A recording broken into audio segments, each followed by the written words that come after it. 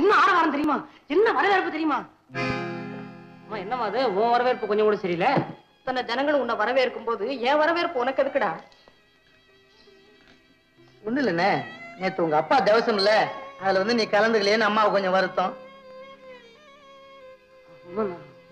மறந்துட்டேம்மா. சுத்தமா அந்த நினைவே எனக்கு இல்ல. டேய் நீ ஏன்டா ட்ரங்க் கால் பண்ணல? ட்ரங்கால் பண்ணண்ணே. உன்னை பத்தி எந்த விதமான தகவலும் கிடைக்கல. அதனால நீ எந்த நிமிஷமும் வந்துடுவேன்னு எதிர்பார்த்துக்கிட்டு இருந்தோம். ஏண்டா? பணக்காரன் ஆயிட்டா அப்பா யாரு அம்மா யாருன்னு ஞாபகப்படுத்த கூட உனக்கு ஒரு ஆள் தேவை இல்ல நினைச்சு பாருடா நான் எவ்வளவு வேதனைப்பட்டிருப்பேன்னு. இறந்து போன உங்க அப்பாவுக்கு வருஷத்துல ஒரு தடவை செய்ய வேண்டிய சடங்கு செய்ய கூட மகன் இல்லைன்னா இந்த பணம் என்னத்துக்கு இந்த பங்களா என்னத்துக்கு இத்தனை ஆட்கள் என்னத்துக்கு இந்த போலி வாழ்க்கை உனக்கு தேவைதானா? அம்மா அங்க நடந்ததே வேறம்மா. என்னைக்கும் இல்லாம நாடகம் ரொம்ப பிரமாதமா அமைஞ்சு போச்சு. ரசிகர்கள் எல்லாம் அடுத்த நாள் இருந்த அந்த நாடகத்தை போட்டுட்டு தான் போகணும்னு சொன்னாங்க. நான் அவங்க அன்பு கட்டளையை மீறத்துக்கு இஷ்டம் இல்லாம தங்கிட்டேன். அப்பா தேவசத்தை மறந்துட்டேம்மா. இனிமே மறக்க ஒரு தடவை போனது போனதா இல்ல? இப்ப அம்மா இப்ப என்ன செய்யறது என்னையே கேளுடா. பெத்தவங்கள மறக்கிற அளவுக்கு உனக்கு புகழ் போத தலைக்கு ஏறி போச்சு இல்ல இத பாருடா. நீ புகழ் ஏடியில ஏற ஏற. என்னை விட்டு மெல்ல மெல்ல தூரம் பிரிஞ்சு போற மாதிரி எனக்கு ஒரு உணர்வு ஏற்படுதுடா. அம்மா சுந்தரம் எனக்கு வேற ஒண்ணு வேண்டாம். ஒரே ஒரு ஆசை. என்னம்மா? என் மகன் மடியில என் உயிர் போகணும்னு எனக்கு ஒரு அல்ப ஆசை. அது மட்டும் நிறைவேறிட்டா எனக்கு வேற ஒண்ணுமே வேண்டாம்டா. அம்மா என்னம்மா அது? யோசனை பண்ணாம என்னென்னமோ சொல்ற. அப்புறம் ஏன் ஆசை என்னங்கிறது சொல்லிடுவேன் தெரியுமா? நீ ஏதாவது உளறி வைக்க போறடா. இல்லம்மா என் அல்ப ஆசை என்னங்கிறது சொல்லத்தாம்மா போறேன். என்னடா அது? அம்மா உன் கையால தயிர் போட்டு பழைய சோறு சாப்பிடணும்னு ஆசை. எவ்வளவு நாள் ஆச்சுமா டேய் சுந்தரம் அந்தஸ்தால அடைய முடியாததும் காசு கொடுத்து கடையில வாங்க முடியாததும் அன்போட தாய் போடுற பழைய சோறு ஒண்ணுதான் இல்ல.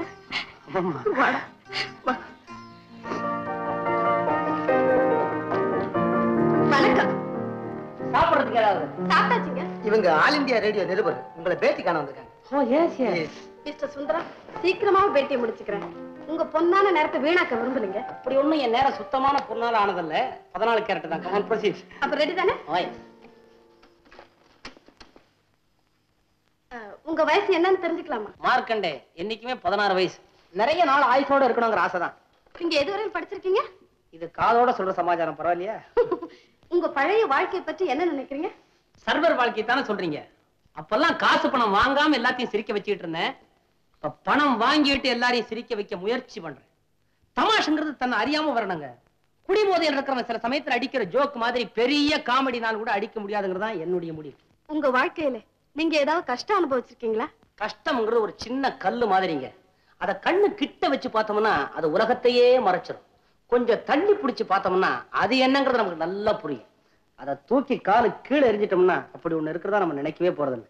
உங்க சர்வர் வாழ்க்கையை பற்றி இப்ப நீங்க நினைச்சு பாக்குறதுண்டா எப்படிங்க நினைக்காம இருக்க முடியும்? அது என்னைக்குமே மறந்துடக் கூடாதுங்கிறதுனால தான் நான் இந்த செவத்துல மாட்டி இருந்ததே சர்வர் ட்ரெஸ் எங்கடா அது? இவ்வளவு அழகான வீட்டுல அந்த ட்ரெஸ்ஸை மாட்டி வச்சிருந்தா அசிங்கமா இருக்குமேன்னு நான் தான் உள்ள தூக்கி போட்டேன். Shut up! உனது முதல்ல அதை மாற்றா ஐ said do it. அந்த வடை என்னைக்குமே என் கண்ணுக்கு தெரியற இடத்துல இருக்கிறதுனால தான் நான் பணக்காரன் ஆயிட்டேனுங்கிற மமதை நெருங்காம இருக்கும். தானுங்கிற அகங்காரம் என்ன அணுகாம இருக்கும். என்னையும் மீறி சில நேரத்துல இந்த பண திமிர் வரும்போதெல்லாம் இந்த ட்ரெஸ்ஸை பார்த்து சீச்சி நான் இதையா போட்டுக்கிட்டு இருந்தேன் அப்படின்னு ஏளனமா சிரிப்பேன். அது பதிலுக்கு என்ன சொல்லும் தெரியுமா? ஏய் என்ன போட்டு தாண்டா அப்புறம் நீ இதை போட்டிருக்கிற அப்படின்னு ஓங்காரமா ஓரமிட்டு பதில் சொல்லு. என்னைக்குமே வாழ்க்கையை பின்னோக்கி புரிஞ்சுக்கிட்டு தாங்க முன்னுக்கு போகணும். இந்த ட்ரெஸ் என்னுடைய மனசாட்சி மாதிரி. என்னைக்குமே நல்லவனா இருப்பேன்னு என் தாயாருக்கு நான் கொடுத்த வாக்குறுதியை காப்பாத்துறதுக்கு இது ரொம்ப உறுதுணையா இருக்கு. சாரி தாயார் உடனே ஞாபகம் வருது. அவங்கள பார்த்து ரொம்ப நேரம் ஆச்சு நான் இதோட முடிச்சுக்கிறேன். கொஞ்சம் இருங்க. இன்னும் ரெண்டு மூணு கேள்விதான். குயிக் சீக்கிரம். நடிப்பிலே கடினமான வேஷம் எது? பைத்தியக்கார வேஷம்.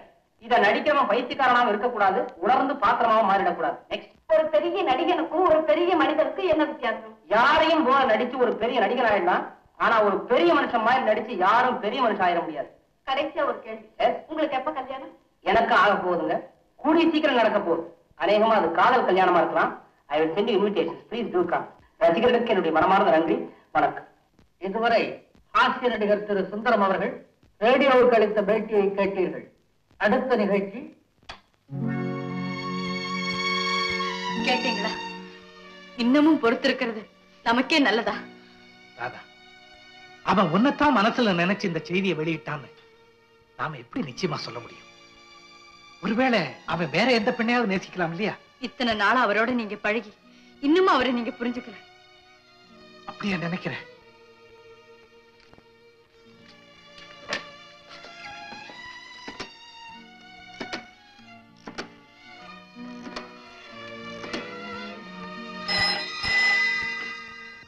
Yes Sundaram here hey Raghavan! எங்க இருந்துடா பேசுற? இங்கதான் ஆபீஸ்ல இருந்து பேசுறேன். ஆமா உனக்கு கல்யாணமாமே? ரேடியோ பேட்டியில சொல்லியிருக்கியே யாருடா பொண்ணு? சாட்சாத் ராதாவே தான்டா. ராதா ரொம்ப கெட்டிக்காரடா நான் ரொம்ப அதிர்ஷ்டம் பண்ணவன்டா ராகவா. ஏய் சக்கரவர்த்தி கிட்ட பெண் கேட்கற அளவுக்கு எனக்கு தகுதி வந்துருச்சா? ஐயோ முன்ன போய் கேக்குறேன் பாரு. முன்ன பிற நீ காதலிச்சிருந்தா தானே? ஏய் ராகவா. வர வர நான் அழகாயிட்டே வரல ஒரு ஜோக் தெரியுமா? உன்னை விட நான் அழகா இருக்கிறதா சில சமயத்துல நானே நினைச்சுக்கிறது உண்டு. அப்பா சிரிச்சாண்டா ராகவன் நான் ராதாவை நேரா சந்திக்க போறேன். என்னுடைய காதலை தெரிவிக்க போறேன். அவளுக்கு எவ்வளவு பெரிய அதிர்ச்சியை நான் கொடுக்க போறேன் தெரியுமா? ஆனா ஒண்ணு. என்ன பேசிக்கிட்டோங்கிறத உங்ககிட்ட கூட சொல்ல மாட்டேன்டா. என்ன சொன்ன என்ன? முடிவுதான் எனக்கு தெரியுமே. பெரிய தீர்க்கதரிசிவ போடா. ஏய் முதல்ல என்ன ஆசீர்வாதம் பண்ணி அனுப்புடா. ஏய் என்னடா அது ஆசீர்வாதம் பண்றது கூட உன்னை இவ்வளவு கட்டாயப்படுத்தணுமா? சுந்தரம் நடக்கிறது நடந்தே தீரும். ரொம்ப தேங்க்ஸுங்க வச்சிடவா?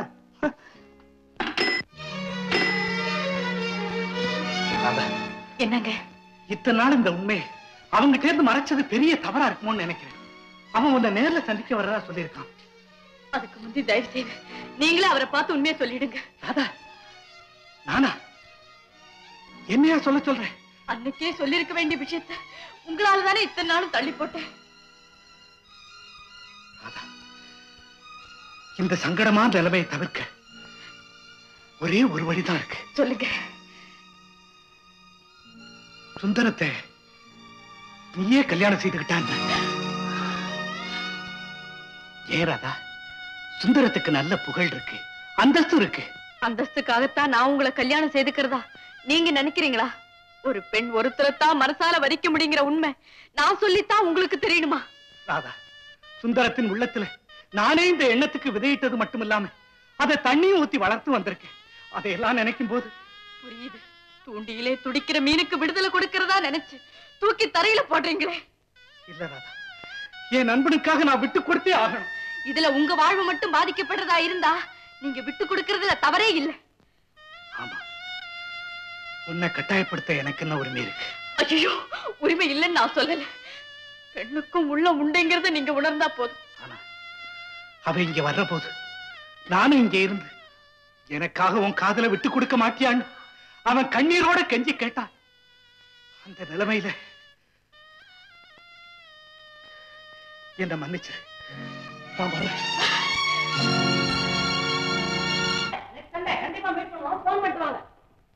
ஏடா பார்க்க வந்தவங்க எல்லாம் போயிட்டாங்களா? எனக்கு கொஞ்ச நேரம் பேட்டி கொடுக்க முடியுமா? ஒரு பத்து நிமிஷம். வேண்டாம்டா ஒரு அஞ்சு நிமிஷம். அம்மா என்னம்மா இப்படி எல்லாம் பேசுற?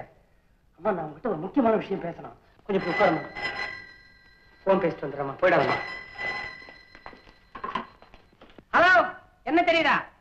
சாரி போன் எல்லாம் தெரியாது. ஹலோ எனக்கு எனக்கு உனக்கு லவ்வா ஆமா. பாட்டு சுந்தரம் படத்துல பாடினாரு. அந்த பாட்டை போன்ல பாடணுமா? சாரி அவர் இல்லையே. இல்ல இல்ல. நான் நான் ஆபீஸ் பாய் அவரை விட நல்லா பாடுவேன். ஹலோ ஹலோ ரசிகன் படத்துல பாடின பாட்டை போன்ல பாடணுங்கிறாரு. என்னடா பேசாம இருக்கிற? என்னமோ சொல்லணும் நீ அம்மா வந்து நான்- என்னன்னு சீக்கிரம் சொல்லிடுறா. இல்லைன்னா டெலிபோன் மணி அடிச்சிரும். அதுவும் இல்லைன்னா மாணிக்க வந்து எங்கேயாவது கிளம்புன்னு சொல்லிட போறான். கேட்டுட்டா? கேளுடா கண்ணு. இல்ல வந்து அம்மா கிட்டயே எப்படி கேக்குறது அத? எதை? அதான் நான் நான் ஒரு பெண்ணை காதலிக்கிறேன். அவளையே கல்யாணம் பண்ணிக்கலாமாங்கிறத கேட்கலாமா? ஓஹோ ரேடியோவுல சொன்னதையா? அம்மா நான் கேட்க மாட்டேம்மா. சரி அதை இப்படி ஆரம்பிச்சுக்கிய? எப்படி? ஒரு நாளைக்கு அம்மா கேப்பா ஏன்டா எப்படா கல்யாணம் பண்ணிக்க போறதா இருக்க? அச்சோ கல்யாணமா? எனக்கு இப்ப வேண்டாமா? அப்படின்னு பையன் சொல்லுவான். ஏன்டா கல்யாணம் வேண்டாங்கிற? அப்படின்னு அம்மா மறுபடியும் கேட்கணும். இப்பதான் நான் நைஸா அந்த சமாச்சாரத்தை ஆரம்பிக்கிறேன் இல்லையா? வந்து வந்து நான் ஒரு பெண்ணை காதலிக்கிறேனுங்கும் போது கொஞ்சம் தள்ளிக்கணும். ஏண்டா உனக்கு அதுக்குள்ள காதலா? அப்படின்னு அம்மா அடிச்சு விடுவாளே ஆமா. எத்தனை நாளாடா இது? அப்படின்னு அம்மா கேட்கணும் இல்லையா? அம்மா அம்மா தான் அப்படித்தான் கேட்கணும். இப்ப என்னம்மா சொல்ற? சம்மதம் கொடுக்க போறியா இல்லையாம்மா? அப்படின்னு பையன் கேட்பான் சரிடா ஒளிஞ்சு போட. அப்படின்னு அம்மா சொல்லுவா. அம்மா யார் அந்த பொண்ணு? அப்படின்னு அம்மா கேப்பா. நான் சொல்ல மாட்டேன். எதை சொல்ல மாட்ட? நான் எந்த பொண்ணை காதலிக்கிறேனோ அவ பேரை சொல்ல மாட்டேன். ஓஹோ அப்படியா அது? சரி இப்ப முதல்ல இருந்து ஆரம்பிச்சுக்கோ. நானா. நீதாம்மா ஆரம்பிக்கலாம். கேளு ஏன்டா எப்படா கல்யாணம் பண்ணிக்க போறேன்னு கேளு. ஏன்டா எப்படா கல்யாணம் பண்ணிக்க போறதா இருக்க? ரொம்ப நல்லா காட்டு. கேட்கும் போதே கல்யாணம் பண்ணிக்கடா அப்படிங்கிற மாதிரி இருக்கணுமா? இப்படி நல்லா முன்னுக்கு வந்து ஏன்டா டேய், எப்படா கல்யாணம் பண்ணிக்க போற? அப்படி கேளு வா. ஏன்டா டேய் எப்படா கல்யாணம் பண்ணிக்க போறதா இருக்க? அஜிஜோ கல்யாணமா? எனக்கு இப்ப வேண்டாமா? வேண்டாம்னா சரி விடுறா. அம்மா என்னென்ன அசந்து போய் நிக்கிறீங்க? மாணிக்கம் மாணிக்கம் இந்த தேதியில? என்னுடைய மதிப்பு என்னடா இருக்கும்? அடேங்கப்பா எங்கேயோ போய் நிக்கிறீங்களே. என்னடா இருக்கும். விலை மதிக்க முடியாது. டேய் ரூபா போய் தர சொல்லுடா. கணக்கு புத்தகத்தை பார்த்தா ஏன்டா எனக்கு பெண்ணு கேட்கற அளவுக்கு தகுதி வந்துருச்சா? எனக்கே வந்தாச்சு